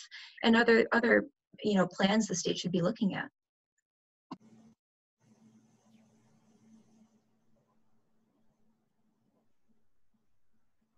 Can you hear me? It's okay. Now we can hear you. Yep. Okay, so I'm so sorry. Um, thank you so much for asking this question. I am very excited that we are making the making this a conversation. It has been going on for people for too long in this country when a policing system that, by the way, is not broken. It's working exactly as it was designed to. It was created at a time when what we wanted, what we wanted, what the hegemonic community wanted, was to put down the voices of Black people and Brown people. We need to be having a conversation about policing and criminal justice. The legislation that has been introduced is a good start. I think it needs to go farther and we need to push for more. Um, I support community control over policing. Um, I believe that we should be giving funds that would be given out to policing um, to the police instead be using that to help other community organizations which can better respond to the crises that our community is facing, um, whether that be increasing funding for educators or social workers or mental health services. We need a different approach to how we manage crises so that we are not losing more lives. Um, in, in addition, when it comes to the criminal justice system, I am uh, against for-profit prisons. I think we need to shut down every single one. Um, I think we need to get rid of the cash bail system. We need to be reducing our prison populations. Um, as well as creating expungements for nonviolent drug crimes. Thank you so much. Thank you. Does anyone else want to address the issue of policing in the bills that the governor has introduced? Um, seeing, oh, Mr. Imes, I just caught your hand. Feel free to take a minute. I appreciate that, Briana. You know, uh, I support what the governor and lieutenant governor uh, proposed. There's a lot of good things there. I also support uh, justice and policing. You know, I think the, the governor's bill could add some some elements uh, prohibiting uh, racial profiling. I think that's something that should be a part of any bill that moves forward. And the other thing I'd like to see is uh, requirement for officers to wear body cameras and operate them properly. You know, we've had body cameras in the village uh, the last two years. It was a no-brainer for me. It was an easy call. It helps protect the public. It helps protect the officers. And uh, ultimately, I think it creates more uh, transparency, accountability, and justice for all. So I'd like to see that as part of the bill moving forward. Thank you so much. Uh, Ms. Roys, I see your hand. Feel free to take a minute. ultimately, what I think we all want is public safety. And right now, uh, and for generations, we've been putting way too many eggs in the basket of policing and prisons. It's not working, it's bankrupting our state both morally and financially. Um, and Wisconsin is the worst in the nation in terms of racial disparities in our criminal justice system. We incarcerate three times as many people as Minnesota, and we're not any safer. And with COVID, this is even more urgent. We have to reduce the prison population, we have to end mass incarceration, and take drastic steps to make uh, the law enforcement that we do have more fair and just. We can invest in real public safety when we invest in housing, in communities, in public school, and childcare, and things that people really need to thrive. Because communities that have their needs met are safe communities, and that's ultimately what we want. Um, the governor's put forward something that's a great start, but I think we also need to look um, at what they're doing federally with the Breathe Act, that really is talking about how can we make sure that every neighborhood is a safe neighborhood. Thank you so much. Um, let me see if I see, I don't see any other hands. So that means we'll go back to you, Ms. Moe. Do you want to take 30 seconds to wrap us up on this topic? Not Yes. a question. Oh, sorry about My that. hand is up. My hand was up too. Oh, sorry, my screen must have froze. Uh, we'll go to you, go Mr. Davis, first, and then we'll go back to Ms. Elmikashfi. We need to protect our police men and women in uniform, and we need to also protect our citizens from bad police officers. We need to conduct uh, legisl- We need to conduct more studies that can actually uh, benefit our citizens, but we need to study more and pr- propose more legislation that will tackle uh, police brutality, police abuse, and one of the things I want to make clear is this is not a race agenda. It's not a, a race hate thing. This is a unity thing. We have to fight for all police officers and all citizens, and that's what I'm going to do as state senator. Thank you so much. Uh, Ms. Elmikashfi, let's go to you. Sorry for missing both of your hands before. All right, thanks, Imes. um, I think while we need to talk, take a look at police brutality and criminal justice, uh, we need to take also a moment to think about the whole system. Very simply, there are two Madisons. In one, the average household income is over 85,000, and families thrive with quality education and numerous opportunities in this vibrant city. Uh, and in the other Madison, the one that folks in power don't really talk about, the average household makes $27,000 a year, uh, they struggle to access quality education. They find themselves in danger by many of the institutions that are so blindly trusted by the first Madison, the Madison that isn't in power. Uh, we must come to terms with the fact that Wisconsin is still grappling with the legacy of slavery. Systemic racism is embedded in the DNA of our schools, healthcare systems, economy, housing, um, and indeed our criminal justice system. And so Wisconsin has not fulfilled the promise of forward to the Black community, uh, and we need to have that as the basis of our legislating. Thank you so much. Um, now that you're all unfrozen, I can definitely vouch for the fact that no other hands are up. So let's go back to you, Ms. Moe. Do you want to take 30 seconds to wrap us up on this topic? Absolutely.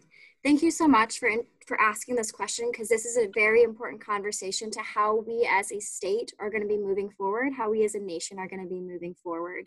Um, I agree with most of what's been said today, but I do want to more point out that just reiterate that we need community control over policing at this time. Thank you so much. Um, Mr. Imes, we're going to continue this conversation, but just expand it to the criminal justice system more broadly, as other candidates kind of touched on. You and other candidates just participated in a forum actually on this very topic um, yesterday, I believe. Um, what are changes beyond policing the state should be considering? You talked a lot about body cams and things like that, but what about measures to, for example, reduce the prison population by releasing nonviolent offenders and things like that?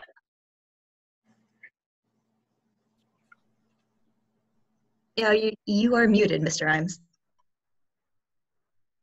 Thanks, Briana. Sorry about that. So um, we, obviously, we over incarcerate folks. It's, it, it's disproportionate uh, compared to states around us. I think uh, we're three times what uh, Minnesota does, for example. We're spending more on corrections than we spend uh, in the University of Wisconsin. So what we heard yesterday at the Moses Forum was a very powerful hour of presentations and opportunities uh, to addressing mass incarceration, the amount of individuals that are actually under supervision and under parole greatly exceeds other states uh, around us. We need to fundamentally address all this. And I think, um, you know, primarily from a couple of imperatives. One is uh, COVID 19. We have a we have a pandemic, and we're housing way too many prisoners uh, for in too small spaces. We're exposing them. We're exposing uh, uh, our, our, our laborers and uh, and corrections folks. So that's one. Two is from a budget imperative. We just can't afford to incarcerate as many people as we have currently. There's a lot of folks that are well beyond uh, their parole periods, but because of truth in sentencing and some other things that have passed previously that need to be addressed in the legislature, um, you know, I think once those are addressed, then we're going to be able to parole more folks, we're going to be able to pardon more folks, and we're going to be able to reduce the costs associated with with uh, with uh, uh, uh dealing with uh, prisoners and and and folks that are convicted. Thank you so much. Uh, Mr. Benford, I saw your hand. Do you want to take a minute to address this? Yes, thank you so much. So I said it before that uh, when we talk about systemic racism, it's weaved through all of these issues, whether it's climate change, whether it's policing, whether it's the rate of incarceration, housing. But when I think about in our unjust incarceration system, our pipeline to prison, what really is showcased is uh, once again systemic racism as I think as a society that it costs more to incarcerate someone than to send them to the UW Madison. So if we really want to make systemic changes, I really believe in my heart that we need policymakers with real lived informed experiences that can go and advocate with groups like Moses and Expo. So thank you so much for this question. Thank you for addressing this issue. Um, seeing no other hands. Oh, Ms. Latimer Burris, go ahead. Okay, well, oops. Oh, oh no, oh no, oh no. Just a second, one second.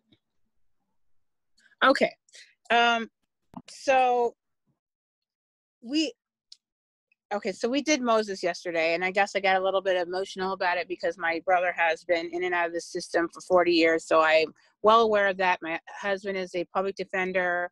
Um, I have spent 15,000 hours in the Wisconsin uh, um, statute. So we got to get off talking points on all of this and get down to reality. Um, when I added up the cost of my brother being incarcerated over 40 years, they spent $1.5 million on one person. We can do something different.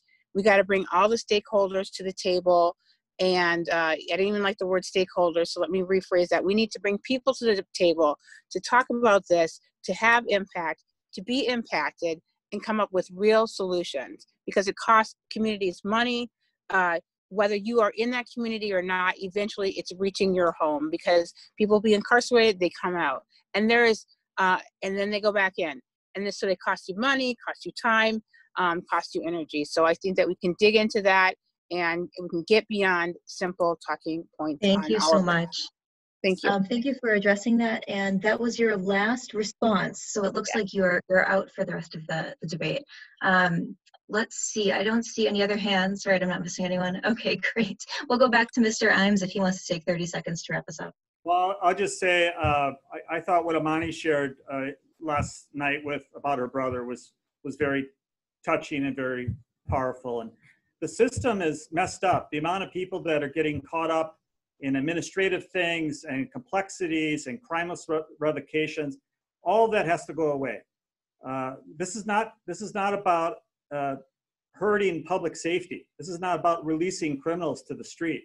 These are people that are caught up in the system who have who paid their their their time. Uh, they paid their debt to society, and ne- we need to find ways to to bring them back in to get them in transitional job. Thank you so much. Sorry to cut you off, but we're going to head now back to Ms. Latimer Burris, actually. Um, I wanted to ask you about the fact that you're running to represent, and, and all of the candidates here are running to represent a very blue district in a very progressive part of the state. How do you think lawmakers representing this district should balance pursuing a liberal agenda with compromising with Republicans to get things done? And how would you strike that balance as a first-time office holder? Okay, good. I'm unmuted. Um, you know, I did that in Waukesha. I was the community organizer down there in Waukesha and in Milwaukee County, so I had to balance both. And and again, what I found is that when you just get into real conversations, you really start listening to people, you really start asking questions, you start having follow-up questions. You get off of talking points, you get off of what the policy says that, you know, we all have downloaded and read and you start asking questions. Like when I was a journalist, I started out asking a lot of questions. You get in and you find uh, common ground. And so I think that um, we can let the GOP handle uh, the extreme that they've gone to. I think that uh, we as a country are going to change that in November, and then we're going to need to get back to healing. So I think it's reaching out, finding common ground, um, and uh, you know, having conversation. It's done in conversation, having empathy, seeing me and you and you and me united in our differences. And that's really why I came up with the united in our differences because I thought about it. I thought, you know what? Everybody wants the same thing food, housing, healthcare, education. They want to make it through COVID 19. They want their parents to age uh, respectfully. Uh, they want to do all these different things. They don't want their brother sitting in prison for 40 years, um, you know, for something that is, you know, that he could have murdered someone and got out ear- earlier. Um, we don't want to do that, and it's not good for any society. And whatever affects one society is going to end up affecting all of us. So I think it's crucial that we come to this point. We went through Trump. Uh, it's time for Trump to go. Uh, it exposed all the problems that we have, and we need everybody at the table in diversity to make a difference. Thank you so much. Mr. Imes, I see your hand. Feel free to go.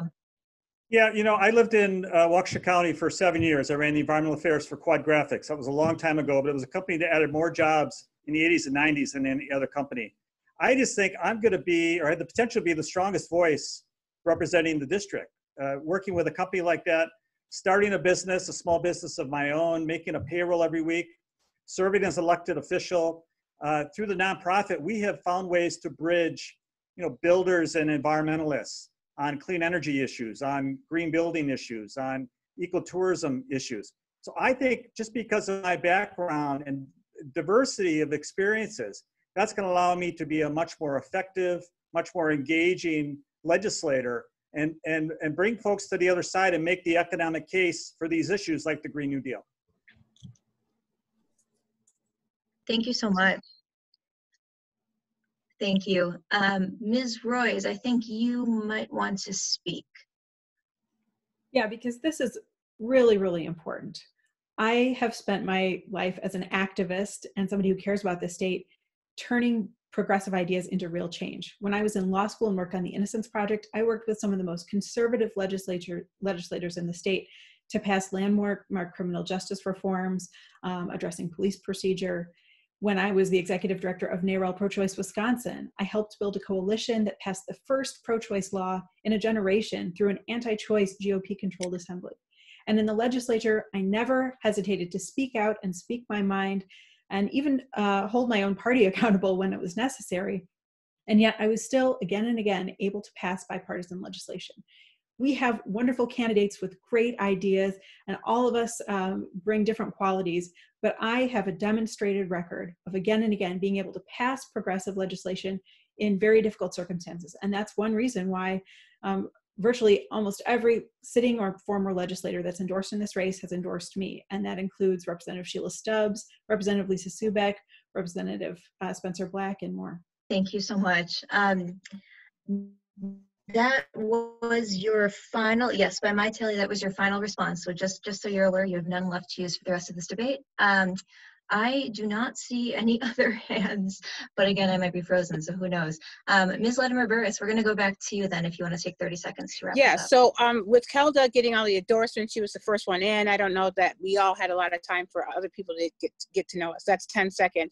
In Waukesha, I worked with the Democrats, Independents, Republicans, pushed up the numbers for Jill Karofsky. Uh, that is in the data, it's evident. Uh, I started out my career as a journalist. I was a small business owner, a Main Street owner, had employees, and uh, worked as a teacher. So again, it's about finding me in you and us working together. Um, and somebody who's ever going to get in this position, they're going to have time to do that, time to reach up, go out to Green Bay, go out to Wausau, go out to these different places and show that we really are all on the same page. Mhm. Thank you so much. Um, we're going to move on to our last two questions, which are both about education. The first one is for Mr. Benford. Um, you've talked about the importance of education not suffering amid the current uncertainty. In terms of higher education, the UW system has had to bear the brunt of the $70 million spending cut the state made in May. Governor Tony Evers last week announced another $250 million decrease to offset revenue losses from the COVID 19 crisis, but it's not clear yet how much of a loss the UW system campuses would be expected to absorb this round. Do you believe the UW system should be included in this second round of cuts? And separately, is there state action needed to ensure the fall semester occurs safely at these schools? Well, that's a that's a really big question, Briana, and let me see if I can unpack it a little bit. And I should disclose that I work for the UW Madison Odyssey project, where I'm the success coach and the Odyssey is a free year-long course in the humanities that uh, is set up for people that uh, face barriers and challenges to higher education. So I'm biased about this subject, and uh, I'm an alumni of Odyssey, and I believe that in the state of Wisconsin, from pre-K to a four-year degree, that colleges should be free. So when it comes to the assaults on public education at every level by the majority party, I would fight very hard to restore those cuts to the UW-Madison. Now, on to your second question. I'm not a doctor, I'm not a scientist, but I follow CDC uh, recommendations and news, and I'm terrified at the thought of uh, campuses opening, not only at the at the uh, uh, uh K through 12 level, but at the higher level, I'm terrified that uh, as we're seeing spikes in this uh, uh, disease, this pandemic, that uh, I worry about uh, my friends that are sending their kids as freshmen. And uh, in this uncertain world, when you think about the college experience, there's just so much socialization, and it's just right for people to put their lives at risk. So I would hope that the UW, whether it's hybrid or reimagining what education could look like. I should also disclose that at 60 years old, I graduated from the UW last May with my master's degree in social work. So as I think about these young students that are coming in, it really breaks my heart that their lives will be put at danger uh, for sometimes false economic gains. So when it comes to your question, we should restore those cuts and enhance our university system. And we should follow the best science to keep our students safe. Thank you so much. Does anyone else? Oh, Mr. Imes, feel free to take a minute to weigh in. Yeah, I, I mean, I agree with Brian on the on the whole safety issue. I mean, you know, part of this is going to be in terms of the budget. You know, where are our priorities? And what I've said, I mean, I've got a financial background, I've got a business background. You know, we have to find the money savers. And uh, there's a couple of them. One is we have to dismantle all the uh, all the money, all the infrastructure, all the grants, all the tax credits that go into the the attracting non-local multinational corporations like Foxconn. And just dismantle all of that. Redirect it to defend the University of Wisconsin and a stronger uh, funding contribution uh, to higher education in the state. I would also direct some of that to um, our small businesses and our main streets that just have gotten devastated by COVID and, and, and other issues. And then we have to look at a more equitable tax system.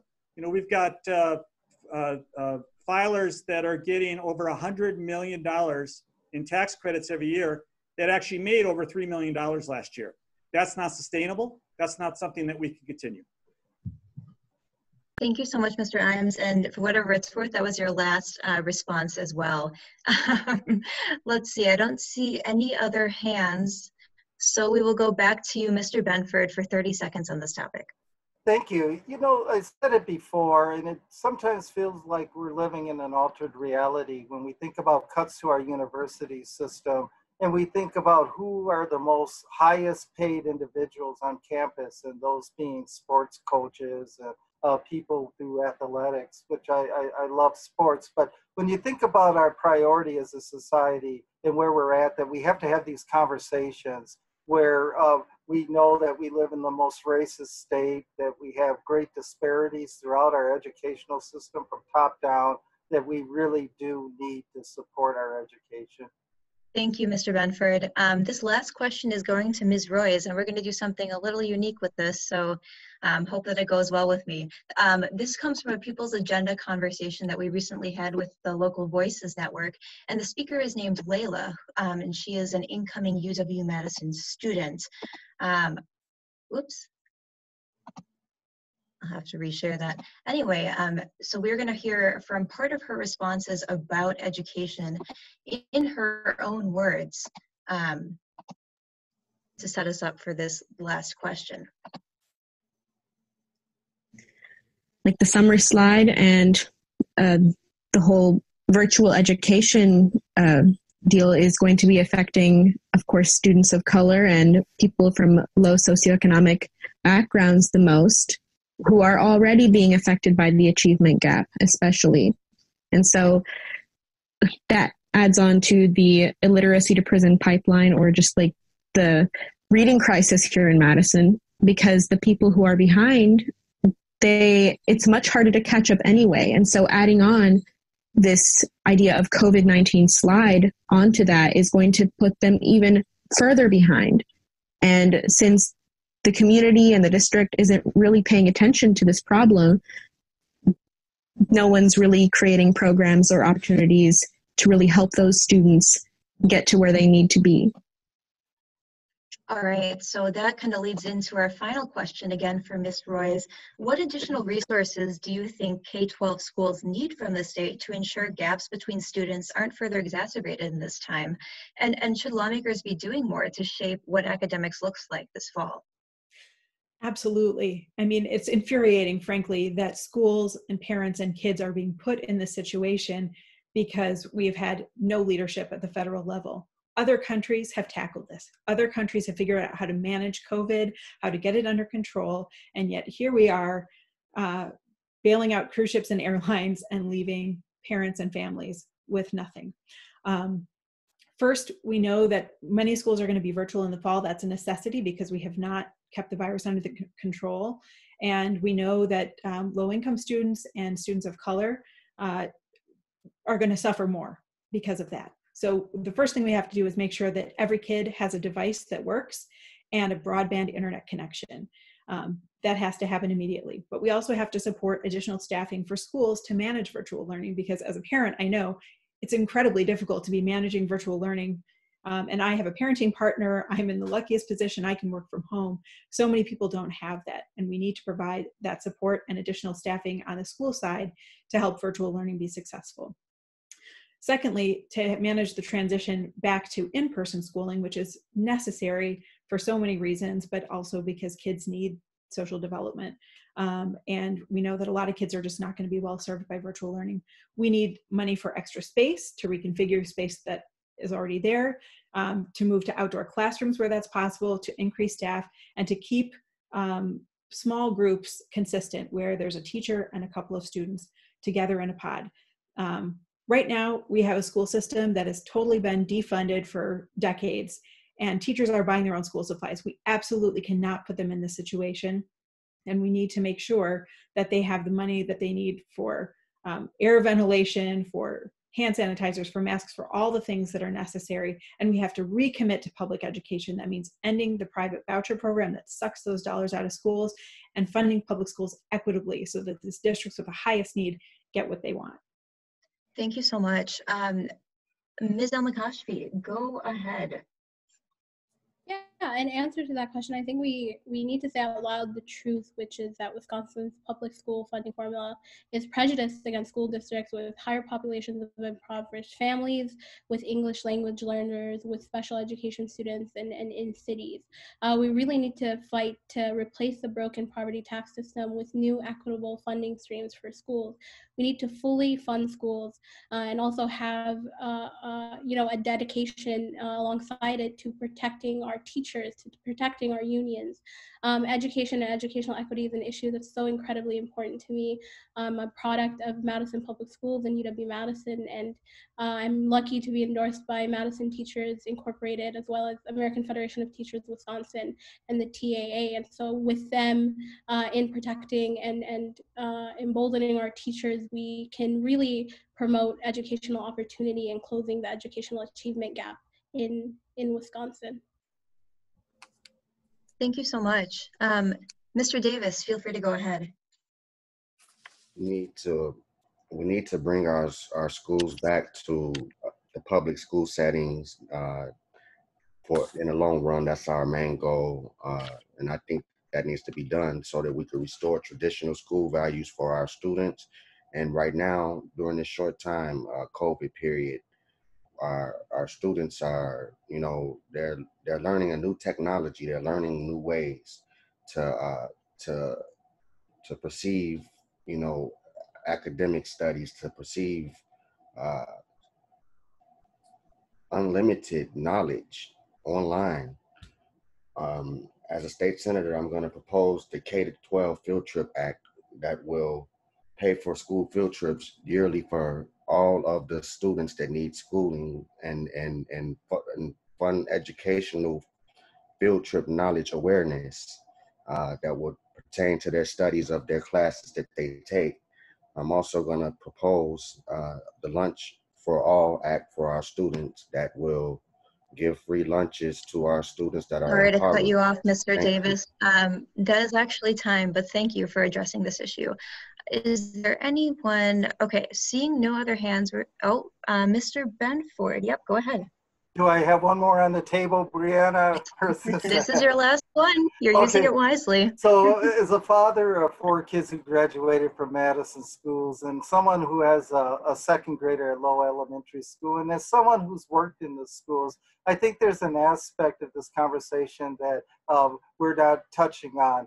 Uh, of course, we need to fund our schools and put a pri- priority on them. But in addition to the educational context, schools are the front lines for mental health services, oftentimes, helping to deal with homelessness, domestic violence, and trauma. So, as we think about funding our schools and we think about the whole big picture of schools, there is that component that's not oftentimes talked about. And right now, during COVID 19, I'm seeing firsthand at real time so many kids and families that are suffering. And I can't imagine what happens when the school year starts with utility shutoffs and there's a up, there's a chance where they won't have broadband or internet.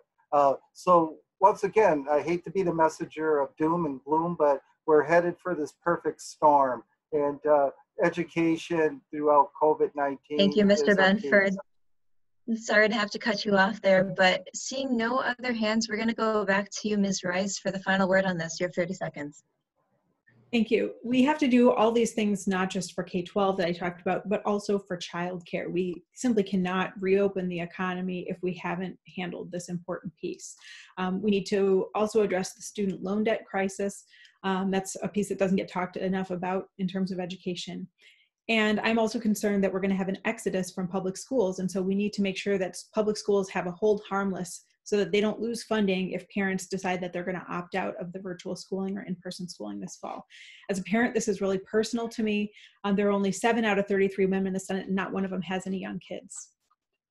Thank you, Ms. Roys, um, for addressing this issue. We're going to move on now to, and I am very over time and I'm well aware of that. So we're going to move on to closing remarks. And if it's okay with you, um, you, with you all in the interest of all of your time and the viewers at home, let's cut these down to one minute if that is possible for everyone. Um, to, to start then with these um, closing remarks, we're going to go to Ms. Latimer Burris. You're up first. Okay, well, what I was going to do was finish up where I left off, but I mm. definitely don't want to get cut off.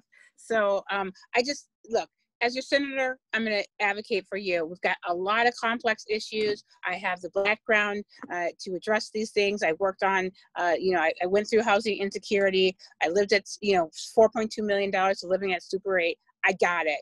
And so what we need to do is we need to uh, go through these issues uh, and, and, look at them. We need to bring people together. We need to uh, uh work on being respectful and, uh, you know, uh, listening to different points of view and to work in diversity. And I know that I can do that. Um, and I know that's going to take a lot of time and it's going to be hard work, but I'm up for it. I made it. you did great. That was really impressive. Uh, Mr. Imes, how about you go? First, I want to thank Cap Times again for putting together a great forum, and of course, my fellow candidates and you, the voters, for tuning in during such a difficult time when both the physical health and socio-economic health of our community are at risk. You know, I'm an elected official, environmental nonprofit leader, and small business owner, rooted in the community for over two decades. I bring a uniquely diverse experience that can move beyond you know business and politics as usual and hopefully put people first. You know my goal is to make the state a model for high road practices and provide incentives to those that adopt them and enact legislation requiring them. You know, providing a livable fair wage family friendly benefits work life balance education technical training and a just transition particularly for women immigrants and people of color will help reduce social economic disparities and make an economic recovery uh, that works for all um, I, I, encourage you to visit uh, our website at johnimes.com. Uh, I certainly would appreciate your support and of course uh, would appreciate your vote on, on August 11th. Thanks again. Thank you so much. Mr. Davis, you're up next for your one minute of closing remarks.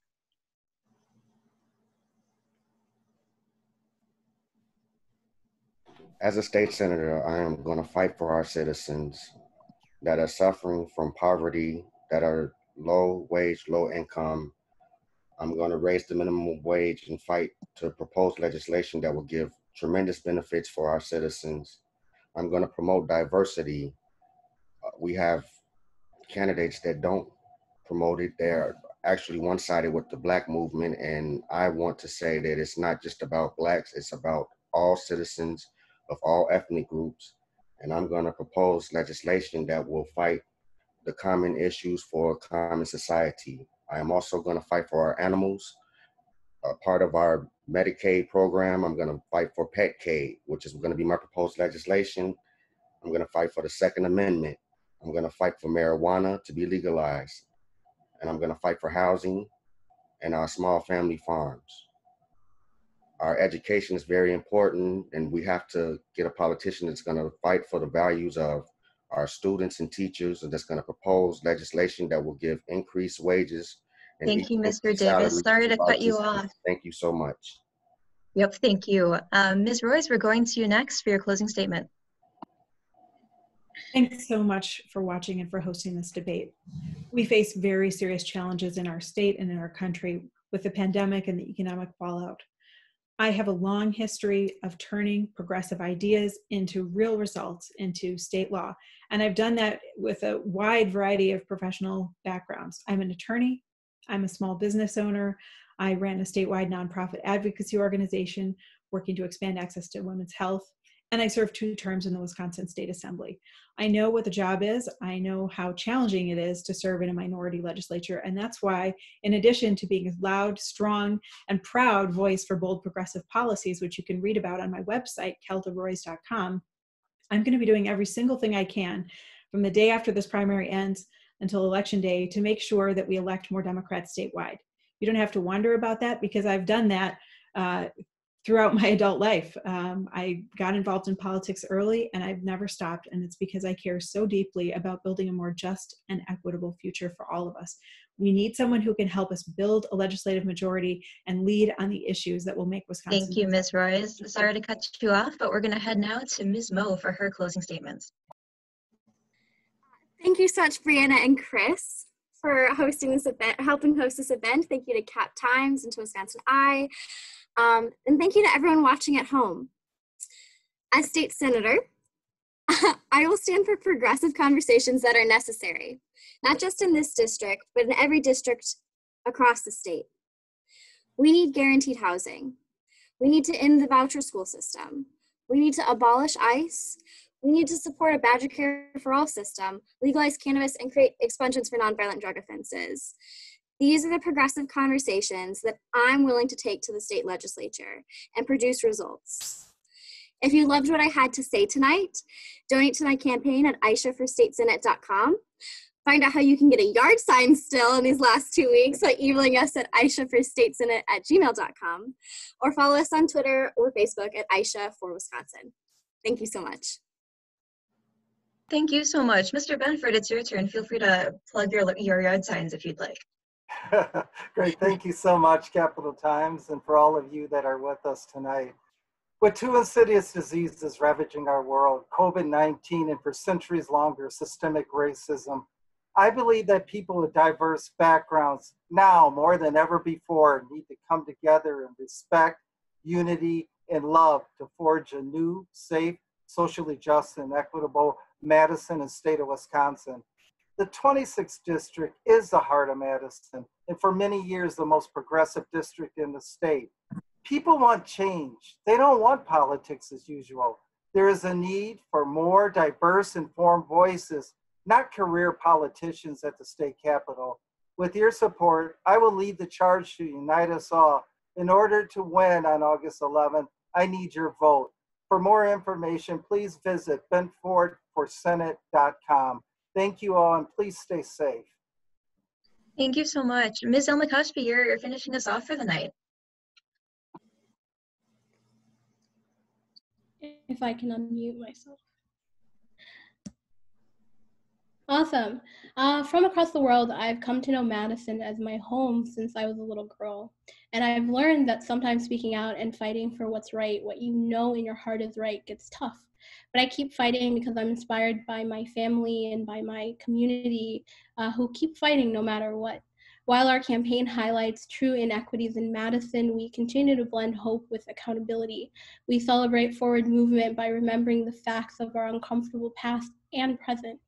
We acknowledge that we can change for the better, even though it doesn't always feel positive to talk about, but the healing is positive.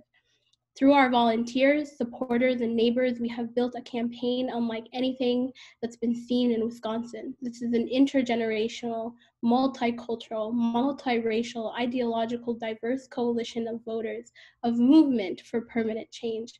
Together, we will win this election, and on August 12th, the day after the primary, our working class movement will come together again to work to flip the legislature and turn Wisconsin blue. Please join us at nadaforwisconsin.com slash volunteer. Thank you, Briana. Thank you, Cap Times. Thank you all so much for participating in this event and tolerating, you know, all the technical issues we've had to endure. So I really appreciate that. And thank you to all of the viewers who are right along here with us. Once again, the primaries between these seven candidates is on August 11th. We're currently drafting our people's agenda, as I've mentioned multiple times, but there's still time to add your voice to the process. Tell us about the key issues or questions you want candidates and elected officials to, to address. Please visit go.captimes.com slash PA. To learn more about these candidates and others who are running in the open Dane County legislative seats, please check out my coverage at the Cap Times and go back and watch the other three debates. You can do it all tonight if you want. If you're voting by mail, make sure to get your ballots in by election day so they can be counted. Thank you all for watching this evening and have a good night. Thank you. Thank you. Thank you. Good job, guys.